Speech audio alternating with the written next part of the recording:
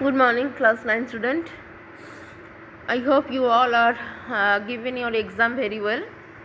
Now get back to our lesson. We are reading uh, Geography chapter 1. Uh, not chapter 1, actually, we have uh, done a mistake.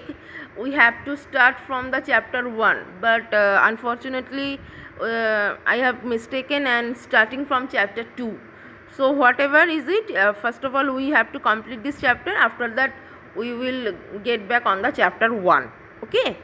So we were in the chapter 2 where we are uh, we have we, uh, we read about the physical features of india.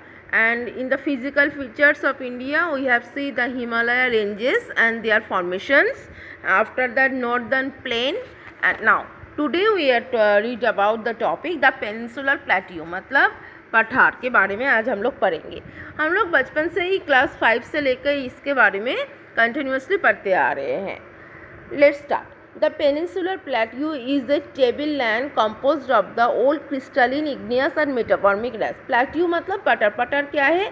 थोड़ा table land table जैसा होता है table जैसा समतल table के ऊपर थोड़ा कहीं, थोड़ा सा ऊँचा, कभी भी, कहीं नीचा और कभी कहीं पूरा प्लेन इसको बोला जाता है टेबल लैंड और इसका जो फॉर्मेशन होता है पठान में क्रिस्टलिन पत्थर इग्नियस और मेटाफॉर्मिक रॉक इन तीनों का फॉर्मेशन से प्लेट्यू का उत्पन्न होता है। It was form due to the breaking and drafting of the Gondwana land and thus making it a part of the oldest land mass बहुत पुराना बहुत, मैं एक बात हमेशा बोल रही हूँ कि पहाड़ का फॉर्मेशन होने में बहुत हज़ारों हज़ारों साल टाइम लगता है। तो जो पत्थर, जो पहाड़ बहुत दिन पुराना है, जो लैंड मास बहुत ओल्ड है हज़ार हज़ार साल, वो सब पत्थर से प्लेट्यू का सृष्टि होता है। The plateau has broad and shallow valleys and rounded hills. Plateau broad होता है चौड़ी मतलब चौड़ा जैसे मैं बोली कि टेबल टेबल क्या हो, टेबल चौड़ा होता है ना? हाँ तो वैसे ही चौड़ा होता है शैलो वैलीज इसके अंदर से वैली भी जाता है और उसको इसको घेर के रहता है क्या राउंडेड हिल्स पहाड़ से घिरा रहता है। This plateau consist of two broad division namely the central highland हम बचपन से पढ़ के आ रहे हैं क्लास फाइव की बुक में भी है सिक्स में भी पढ़े होंगे कि plateau mainly divided into two parts one is Malwa plateau और सेंट्रल हाईलैंड और second is Deccan Plateau. Okay, the major area, the part of the peninsular plateau lying to the north of the Narmada River, उत्तर में Narmada river से cover करके जो maximum area cover करके रखा है वो इसको बोला जाता है मालवा प्लेट्यू और द सेंट्रल हाईलैंड ज़्यादा से ज़्यादा एरिया नॉर्थ मतलब मान के चलो हमारा उत्तर प्रदेश देहरादून जम्मू कश्मीर यस ये जो सब एरिया है यहाँ पे प्लेट्यू जो दिखाई देता है ये कौन सा प्लेट्यू होगा तब? जो पठार एरिया दिखाई देता है Malwa plateau the Vindhyan range in is bounded by the Central Highland on the south and the Aravalli on the northeast.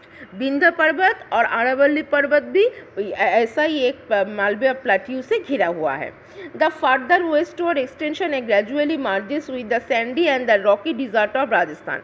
कुछ राजस्थान के कुछ हिस्से में पहाड़ जैसे कि बालू में परि, परिवर्तन हो गया है जो कि रेगिस्तान से परिवर्तन हो गया है वो वहाँ पर भी जो प्लेट्यू है वो भी मालवा प्लेट्यू का हिस्सा है।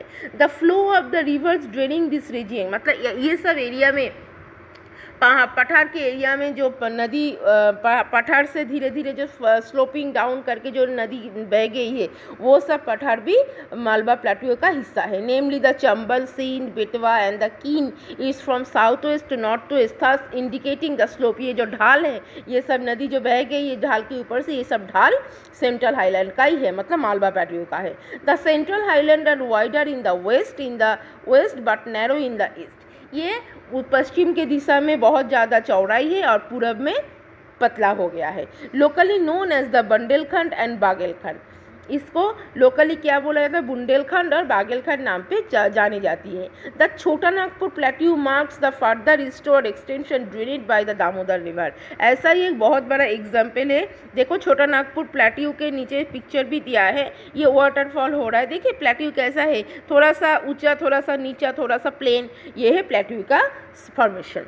The Deccan Plateau. अब Deccan Plateau, the Deccan Plateau is a triangular landmass. ये त्रिभुज आकृति होता है मतलब त्रिभुज के जैसा होता है त्रिकोणाकृति होता है and that lies to the south of the river Narmada Narmada की दक्षिण दिशा से इसका उत्पत्ति है the Satpura range Satpura range flanks its broad base in the north while the Mahadev the Kaimur hills and the Maikal range from its eastern extension ये Satpura range से लेकर महाकाल काईमोर हिल्स तक इसका विस्तृति है।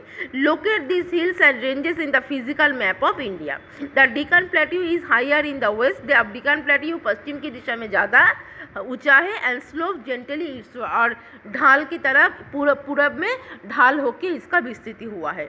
And extension of the plateau is also visible in the north east locally known as Meghalaya Karbi Anglong plateau and north Cachar hill Meghalaya Manipur Mizoram ये सब दिशा में इसका विस्तृति दिखाई देता है। It is separated by the fault from the Chota Nagpur plateau छोटा नागपुर प्लेट्यू का ही एक हिस्सा टुकड़ा होकर डिकन प्लेट्यू के साथ जाके जुड़ा हुआ है।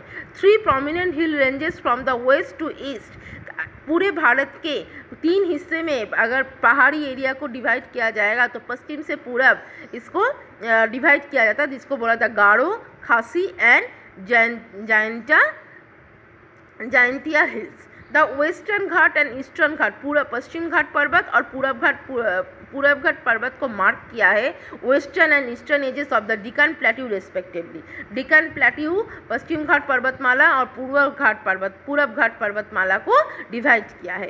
Western Ghats lie parallel to the western core पश्चिम के दिशा में जो है वो पश्चिम के समंदर, नदी बंदर में जाके मिलावट हुआ है। They are continuously and can can be cross through passes only locate the Thal Bhor and the Pal Ghats in the physical map of India Bharat के फ़िज़िकल मैप को अगर देखोगे तो उसमें दिखाई देगा थल भोर और पालघाट जो कि पश्चिम घाट पर्वतमाला को जाके पूरा पश्चिम भी पश्चिम की दिशा में जो कोस्टल एरिया है, नदी बंदर एरिया है, समंदर एरिया उसमें जाके मिला बैठा हुआ है।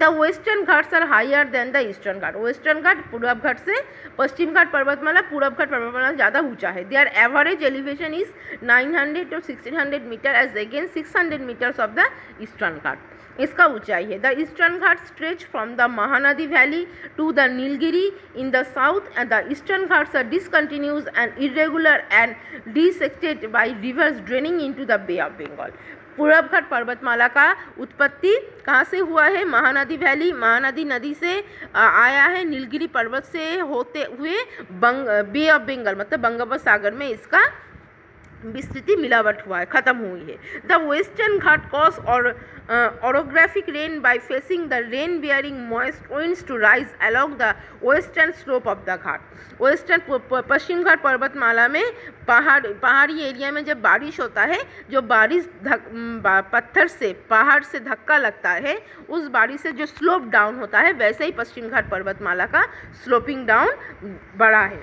The western Ghat are known by different local name. Western Ghat, पश्चिम घाट, पर्वतमाला का हर एक जगह पे लोकल नेम पे जानी जाती है। The height of the western western ghat increases from north to south उत्तर से दक्षिण की दिशा में वेस्टर्न घाट, पर्वतमाला मतलब पश्चिम घाट, पर्वतमाला आगे बढ़ गया है। The highest peak include the Anaimudi पश्चिम घाट, पर्वतमाला के सबसे ऊँचा पर्वत का नाम है अनाईमुदी पर्वत। इसका रेंज है दो हज़ार छः सौ पंचानवे मीटर एंड द दोदा दोदावेचा दो हज़ार छः सौ सैंतीस मीटर। महेंद्रगिरी एक हज़ार पाँच सौ एक metre. Is the highest peak in the eastern Ghat. Anaimudi है।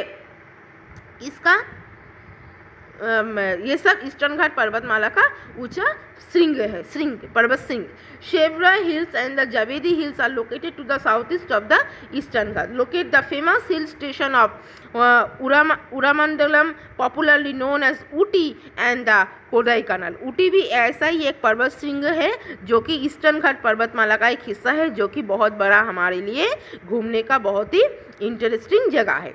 One of the distinct feature of the peninsular plateau is the black soil peninsular plateau का ये जो पठार एरिया है, इसका सबसे बड़ा इंपॉर्टेंट थिंग्स क्या है? यहाँ का जो मिट्टी होगा, काली मिट्टी are known as Deccan trap जिसको डिकन ट्रैप बोला जाता है। This is a volcanic origin ये वॉल्केनिक ऑरिजिन से सालों साल पहले वॉल्केनिक इरप्शन से इसका सृष्टि हुआ है।